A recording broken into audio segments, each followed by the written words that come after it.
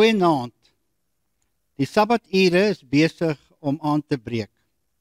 Dankie vir die geleentheid wat ek het om vanaand saam met jou in jou huis Sabbat te kan open. Kom ons buig ons hoofde. Dankie Here dat U altyd met ons is en dat ons die vrymoedigheid kan hê om na U te kom net soos ons ook is.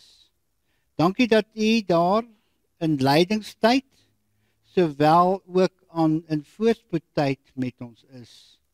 En dat ek en elkeen van ons wat luister kan besef dat U Jesus die enigste foto is wat ooit van God geneem is. Spreek Here, ons luister. Amen. Ons skriftuurgedeelte word gevind in die tweede boek van Korintiërs hoofstuk 4 vanaf vers 7 tot 9. Die tema van vanaand se gedagtes is jy sal ook hierdeur kan kom. 2 Korintiërs 4 vers 7 tot 9 skryf Paulus: Al is God by my, ek is maar net 'n doodgewone mens. Ek is soos 'n breekbare kleipot. Die lewe stamp my ook maar goed rond. Tog dra ek 'n baie waardevolle skat hier binne in my rond. Daarom moet julle weet dat die groot krag van God wat deur my werk glad nie uit my kom nie. Inteendeel, ek kry dikwels swaar, maar ek is nooit mismoedig nie. Ek weet nie elke dag presies wat ek moet doen nie. Tog is ek nooit radeloos nie. Ek word vervolg, maar ek weet God laat my nooit alleen nie. Ek word onderste bo geloop, maar ek staan elke keer weer op.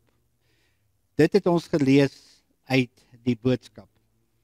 Die bemoedigende woorde van hierdie skrifgedeelte is: Jy sal ook hierdeur kom. Ek onthou dit nog so goed asof dit gister was. Omdat ons kinders uh, in Julie en Augustus verjaar, het ons elke jaar een partytjie gehou vir beide van hulle.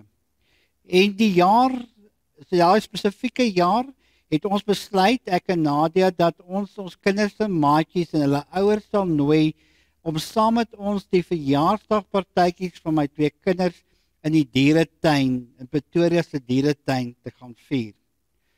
Ons vier toe Elizay se vierde verjaarsdag en Tian se tweede verjaarsdag. Dit is jare gelede al. Elizay is hierdie jaar 20 jaar en Tian is 18. Dis ek praat hier van ten minste 16 jaar gelede. Ons het ons mandjies daar op die gras in die piknik area neergesit. Ons kampstoele opgeslaan, die komberse oopgegooi. Nadia en van die mammas het 'n ruk na ruk besluit dat hulle graag kleedkamers toe wil gaan. En sonder dat ek of Nadia dit besef het, het die tweejarige Tian besluit om agter ma aan te loop. 'n Rukkie nadat hulle terug is vra Nadia vir my, "Waar is Tian?" O, ek kan eintlik nie my gevoel beskryf toe ek besef dat Tian weg is nie. En Nadia was net so angstig en ontsteld as ek. En skielik daar verskeie moontlikhede deur my gedagtes gegaan en ek het geweet dat enige iets kon gebeur het. Ek het dadelik na die spruitjie toe gehardloop wat so 'n paar tree van ons weg was, maar kon Tian ook nie by die spruit wat vol water is vind nie. Ek onthou ek angstig daar rondom die spruit gekyk het of hy nie verder afgedryf het kop in onderste bo in die water. Daar's allerlei spookgoed wat in my gedagtes opgehelder het. En toe die gedagte sê nou net daar was kinderonvoeders kindersmokkelaars wat so kosbare kleintjies soos Tian aan mense kan verkoop as 'n slaaf in 'n ander land. Dit was vir my eenvoudig net te veel. Ek was baie baie ontstel. En ek bid tot die Here en spreek vir hom om sy bewarende hand oor my kind te hou. En dan ruk se soek tog wat soos 'n ewigheid gevoel het, sien ek hoe mamma en Tian hand aan hand van die kleedkamer se kant af na ons toe stap. Nadia het in die Nadia het in die in die soektog weer terug na die kleedkamers toe gegaan en daar by die hekkie agter die struik het 'n groot oog witkop seentjie vir sy mamma gewag. Trane van dankbaarheid het in my oë opgewel. Dankie, dankie Jesus. Dankie vir Tian se bewaar engel wat hom opgepas het. En Tian, my ou tawe uh seun het geen straan gestort nie. Hy was mos nie verlore nie, want hy het al die tyd net vir sy mamma gewag en geweet sy gaan hom kom kry. Ja, die res van die dag het ons as kinders het ons ons kinders se verjaarsdagpartytjies met vreugde en natuurlik met dankbaarheid gevier. En ek ek het my twee kinders die res van daardie dag met 'n valkoog dopgehou. Toe ons laatmiddag na Here Dag se verjaarsdagviering en ook besigtiging van die diere daar in die wild in die dieretuin terugkeer huis toe was daar nog steeds in die binneste van my hart 'n dankbare gevoel oor die Here se liefde en sorg. En ek terwyl ons ry het ek in die trespieeltjie van my motor teruggekyk en gesien hoe Elizay en Tian in hulle motorstoeltjies vas aan die slaap is. Nogmaals baie baie dankie Here dat U vir Tian in die palm van U hand gehou het, vasgehou het. Here, dankie dat U vir ons as 'n gesin so goed is. Was die gebed van dankbaarheid wat uit my hart gekom het. Skielik kom daar 'n ander vraag in my gedagtes op. Sê nou net. Sê nou net dat Tian daai dag miskien verdrink het of deur 'n kindersmokkelaar bende ontvoer is. Sou die Here nog steeds vir my goed gewees het? Ek was die Here dank die hele dag dankbaar oor die goedheid van die Here oor die beskerming van my seun. Maar die vraag kom toe by my op, sou ek die hele dag dag dankbaar gewees het as ons dalk vir Tiaan verloor het. O geliefdes, hierdie skokkende gedagtes het vir my aan die dink gesit. Is God net goed wanneer die uitkoms, die eindresultaat ook goed is?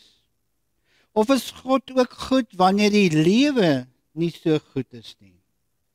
En hierdie twee vrae is die tema van 'n uh, vanaand se oordeenking. Asook die onderwerp van die vraag se bespreking. Is God net goed wanneer die uitkoms, die eindresultaat ook goed is? Of is God ook goed wanneer die lewe nie goed is nie. En dit bring my dan nou by die vraag: Waar is God dan wanneer die lewe onregverdig is? Aan die hange van die Stellenbosberg wat ek nou die dag gaan besoek het, is daar 'n mirasie in een van die plekke. Teen een van die mirasies is daar die volgende geskrywe: die Here se daais het anders geval. En dit het my dadelik aan Adam Smaal se gedig laat dink, uh, waar hy in die gedig sê hy die Here het geskommel. Die daais het verkeerd geval vir ons. Daais maar al.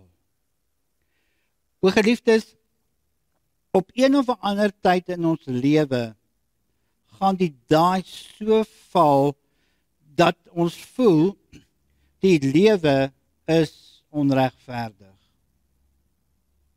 Prys die Here. Hy is goed. Geliefdes, sal ons regtig hierdie selfde uitspraak onder alle omstandighede kan maak in die begrafplaas sowel as in die kinderkamer. In die tou van werklooses sowel as in die tou van 'n supermark. In krisistye sowel as in sonskyntye is die Here altyd goed. Die finale antwoord kom in die persoon Jesus Christus. Hy is die enigste foto wat ooit van God geneem is. Wil jy weet wat die hemelse duidelikste vraag of antwoord oor die vraag van lyding is? Kyk net na Jesus Christus. Hy het sy vinger in die melaatse se sweerplek gedruk. Die trane van 'n sondige vrou het hom aangedaan laat voel. Hy het geluister na die geroep van die wat honger was. Hy het gehuil oor 'n vriend, oor sy vriend wat dood is. Hy het sy werk gestop om aandag te gee aan die smart van 'n treurende ma. Hy duins nie terug nie. Hy hardloop nie weg by die aanskoue van pyn nie. Nee, hy doen presies die teenoorgestelde. Die Here het nie 'n beskermde persoon, 'n wag wat saam met hom in hierdie wêreld leef om hom te beskerm nie. Of hy is nie op 'n afgesonderde kindvry eiland sonder dat daar smart naby hom is nie. Nee, sy woorde en sy dade het ooreengestem. Hy het by sy eie reëls gehou wrede aantuiging van jaloerse mense. Jesus het dit geweet hoe seer dit maak. 'n Skynbare sinnelose dood. Kyk net na die kruisgeliefdes. Hy vereis niks van ons as hy dit self nie ervaar het nie. Hoekom nie? Omdat hy goed is. O die Here skuld vir ons geen verduideliking oor dinge nie. Buitendien as hy een vir ons sou gegee het, een verduideliking, wat laat ons dink dat ons dit sou verstaan? Lê die probleem dalk nie minder by God nie en meer by ons beperkte perspektief van God se plan nie. Josef se woorde aan Farao bied vir ons 'n bietjie hulp aan. Die bietjie wat egter wat ons weet is dat hier is 'n man wat geworstel het met wat God se aard is. Farao het vir Josef gesê in Genesis 41 vers 30 tot 32 die volgende: Daar is ook nog iets anders. Die 7 jaar wat binnekort begin en die jare van groot oorvloed vir die hele Egipte land. Daarna volg sewe slegte jare sê Josef vir Farao: "Oral sal daar hongersnood wees en die mense sal die goue jare gou vergeet. Dag vir dag sal die land deur die hongersnood verwoes word en van die goeie jare sal daar niks oorbly nie. So verskriklik sal hierdie hongersnood wees." Hy het twee keer dieselfde ding gedroom omdat God u wil verseker dat alles wel so gaan gebeur. En boonop sal dit alles gou gebeur.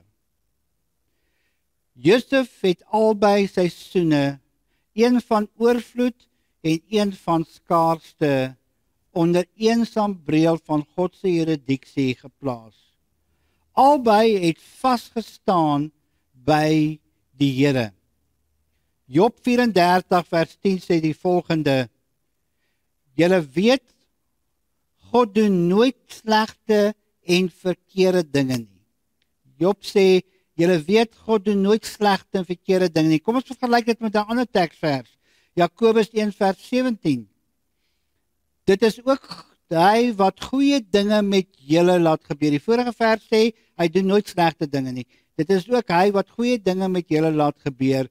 As sulke mooi dinge met julle gebeur, waarom julle maar net kan droom? waaroor jy maar net kan droom, moet jy weet dit kom van God af.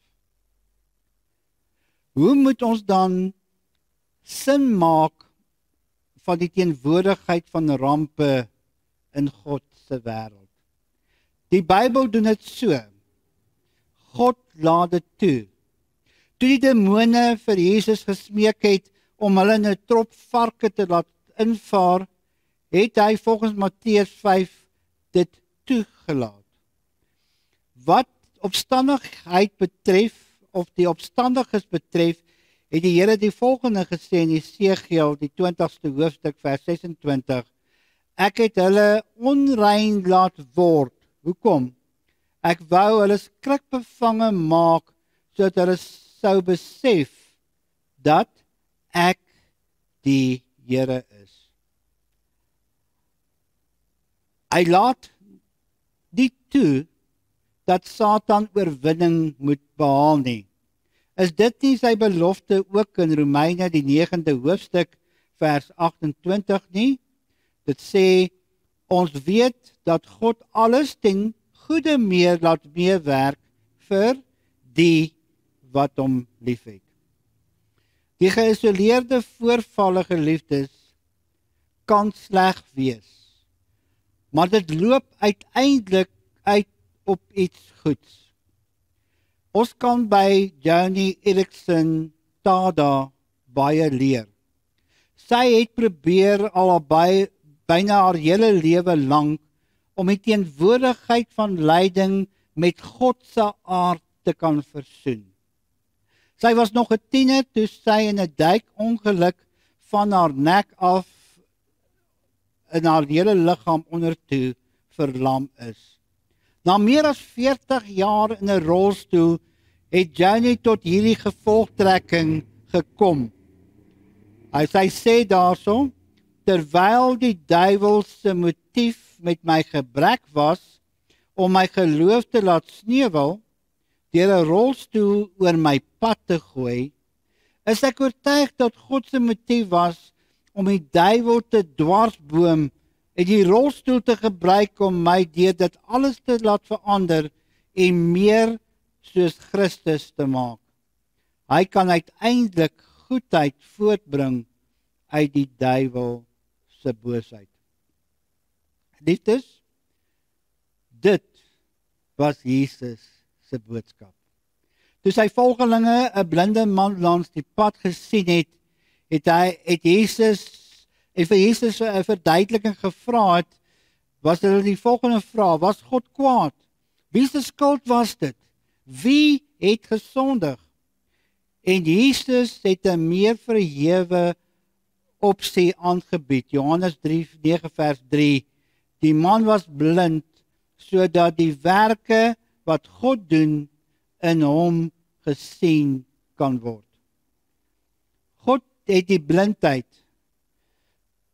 'n slegte ding verander in 'n reklamebord vir Jesus se genesingskrag. Satan het bewerk, God het teëgewerk en natuurlik het die goeie gewen. God stuur engele of of God stuur die energie van boosheid terug na sy oorsprong waar dit hoort. Ons keuse hierop is die volgende: Vertrou God of draai weg. Hy sal ons bo ons verwagtinge help. Gestel nou net dat die komponis George Frederick Handel se vrou op 'n bladsy van haar man afgekom het uh, waar hy een van sy beroemde oratoriums die Messias uh, geskryf het.